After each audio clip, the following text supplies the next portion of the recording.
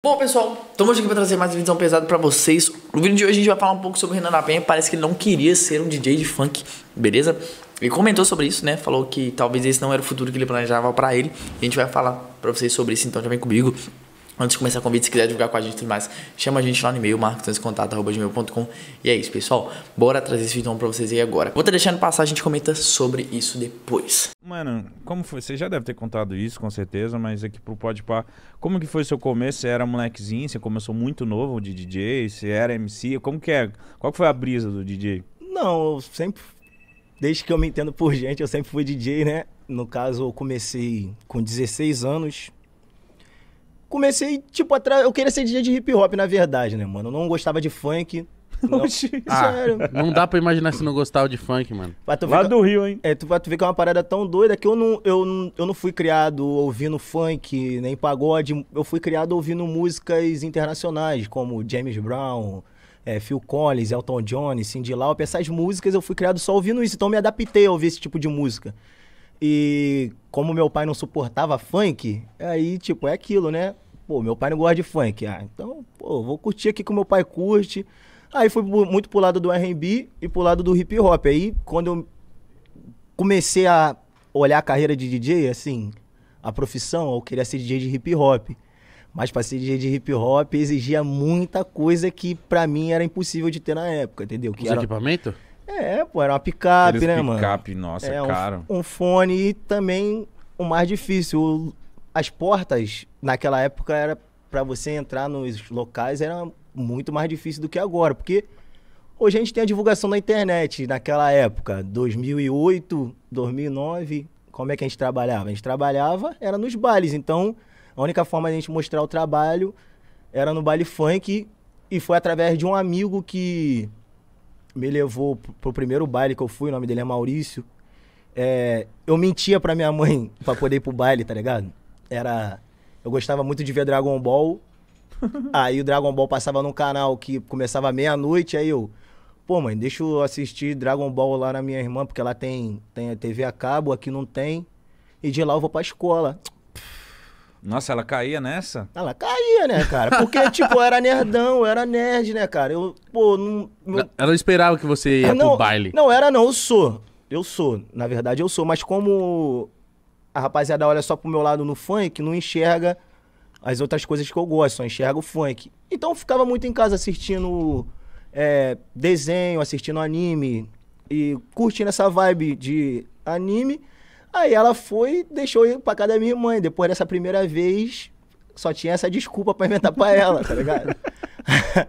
aí foi lá. Meu filho tá vendo Dragon Ball, tá, tá seguro. Renan tá em casa. Renan tá em casa, cara. Aí, aí minha irmã fechava, né, comigo, aí um amigo me levou pro baile da 29.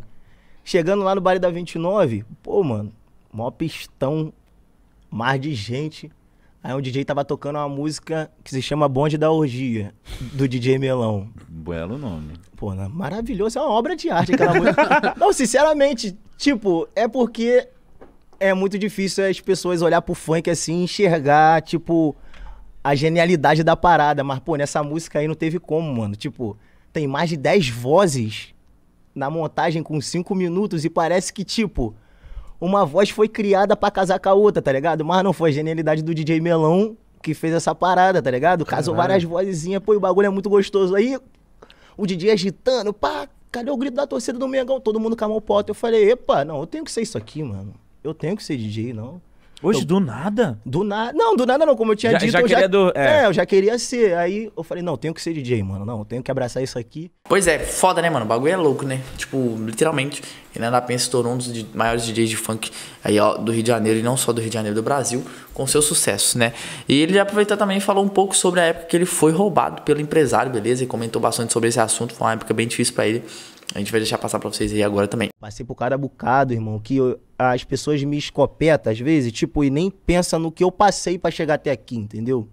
Há pouco tempo agora, porra, descobri que os antigos empresários que trabalhavam comigo me roubaram, tá ligado, mano? E tipo, tava preso e sendo roubado, saiu de cadeia sendo roubado. Caralho. Aí, tipo, logo depois veio a pandemia, tá ligado? E nesse período da pandemia aconteceu algo que eu nunca achei que acontecer na minha vida. Perdi minha casa, entendeu? Tava pagando minha casa, veio a pandemia, não tem show, não tinha como. Perdi minha casa. Deu, o papai do céu abençoou, comprei a minha casa agora, tô tranquilo. Amém. Mas de um ano pra cá, de um ano, isso, de um ano pra cá, eu passei por cada coisa, irmão. Mano, me admira você tá são ainda. É, mano, então, eu passei por cada coisa que, tipo, eu não expressei com ninguém, tá ligado? Eu não, não, não fui, porra, era só eu e a pessoa que tava ali comigo, alguns amigos que sabia. E, tipo, imagina, pra tu, um cara que tá te visitando dentro da cadeia, tá te roubando aqui fora. Ah, Tá ligado, mano? E, e era a pessoa que, tipo, começou lá atrás, quando eu tava foragido, tá ligado? Tipo, é, eu gostava da pessoa, mas o dinheiro e as pessoas que ele foi pra perto fez ele se deslumbrar e fez ele cometer erros. E muitas pessoas nem sabem disso, tá ligado? E por meias e outras atitudes dele que ele nem pensou em mim, eu entrei numa depressão sinistra, mano. Eu saí de cadeia forte, bah. Queria manter meu corpo. Caralho, emagreci. E problema me abatia rápido. Tá ligado? Daqui a pouco, quando eu anunciei que saí dele e das pessoas que trabalhavam com ele, aí que veio os problemas, mano. Aí Problema. começou, ah, porque começou a aparecer os problemas, mano. Começou. Por causa que, tipo, quando eu tava preso, ele fez uma parada que, tipo, porra, caralho, mano. Ele pegou, pediu 40 mil a um amigo que fazia meus ouros, entendeu? Fazia meus cordões, falando que era pra custear as minhas despesas na cadeia. Sendo que eu saí, eu fui preso e já tinha deixado tudo no esquema. Pra ele ajudar minha família, tá ligado? Mandar um dinheiro pra mim pra ah você. você se mano. programou. Eu me programei, mano, tá ligado? Deixei um dinheiro maneiro com ele. dinheiro sumiu. E mediante a. Ele ainda, ainda pegou 40, reais, 40 mil reais no seu nome. Pegou 40 mil e a pessoa que ele pegou é, achou realmente que era pra mim. E, pô, me ligou nervosa. Que isso, rapaz? E vai dar merda, pá. Eu, pô, qual é, irmão? Não- Pô, nem sabia de nada, pá. Aí, Meu Deus, que treta, mano. aí acabou que, pra completar, tipo, foi a, a gota d'água, né, mano? Foi uma parada que, tipo. é um bagulho, mano, é só. em- Eu não sei se aqui também tem, mas é só no Rio de Janeiro que eu vejo os empresários fazer isso. Quando eu saí de cadeia, ele me deu uma quantia, que eu não vou falar aqui, né, mano? Ele me deu uma quantia e falou, aí, tá. me mandou o print. Aí eu, pô, isso aqui é de quê? Não, tô te dando, mano. Estranho. Mas era uma quantia alta? Era um pouco alta. Não, não muito alta, mas. Mas era uma quantia É, boa. uma quantia boa. Aí eu, mas qual foi? Não, eu tô te dando, bar. Já é. Mas você desconfiou? Ainda? Na hora. Ainda. Aí já é. O dinheiro que ele me deu, mano, foi o próprio dinheiro que ele pegou pra gravação do meu DVD. Tá ligado? Me deu o meu próprio dinheiro, viado. E tava falando que tava me dando. E no dia que eu cheguei pra ele, tô falando com ele, pô, qual é, mano? Mó ajudaria, pá.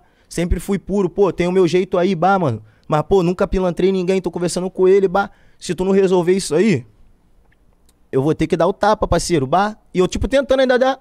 Pô, qual é, mano? Eu tentando dar uma luz ainda pro problema que eu não queria acreditar, mano. O bagulho tava na minha cara, eu não queria acreditar. Porra, aí na hora que o que ele falou pra mim, eu, porra, qual é, viado? Que isso? Ele virou pra mim, pô, já é. E aqueles 50 mil que eu te dei? Eu, porque tu me deu, meu compadre. Que... Pô, então, eu vou sair disso assim? Caralho, mano. Tipo assim. Não, o cara ganhou dinheiro pra caralho, mano. Ganhou dinheiro pra caralho. Não tem como reclamar. Eu descobri que um evento que nós fazíamos no Maracanã. Olha, mano, a gente fazia um evento no Maracanã. Não sei se era baile da princesa. Não me lembro o nome do baile. Mas o, o dono desse evento tinha uma parceria com ele e comigo e eu não sabia da parceria. Que ele acertou. Ele acertou. Qual era a parceria? Olha só. Me dá aí uma garantia e a metade da portaria. Pô, esse evento tudo lotado, mano. Do lado de fora do Maracanã, entupido. Muita grana. Aí, tipo, o evento da portaria ele botava no bolso e a garantia, que era o cachê, eu ainda dividia com ele. Caralho, mano, que arrombado. É, mano, é mó doideira. E o cara, e o contratante ligou, ficou conversando com a gente, passou tudo e, tipo, se eu parar pra falar aqui, é, depois, tipo assim, desde que eu saí dos caras, tudo que eu passei e descobri, pô, mano, eu vou ficar aqui com vocês mó tempão, tá ligado? Eu não vim aqui pra ficar falando coisa ruim. Mas eu quero que vocês comentem aqui embaixo sobre esse assunto. Passa a visão de vocês sobre o que vocês acharam sobre o mesmo. Então, já comenta aqui embaixo. Demorou? Mas é isso. Eu espero que vocês tenham gostado do vídeo. Se você gostou, se inscreve no canal, ativa o sininho pra receber as notificações. E é isso. Tamo junto, é nóis e até o próximo vídeozão.